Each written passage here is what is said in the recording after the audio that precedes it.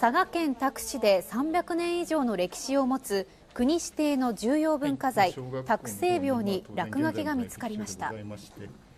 見つかったのは西側の柱で朱色の塗料が削られる形で文字が刻まれていました。大きさは縦20センチ横15センチほどで午前10時ごろ市の職員と管理業者が巡回中に気づいたということです。多久聖廟は中国の思想家孔子を祀る建物で1708年に創建されました。警察が文化財保護法違反の疑いで捜査を進める方針です。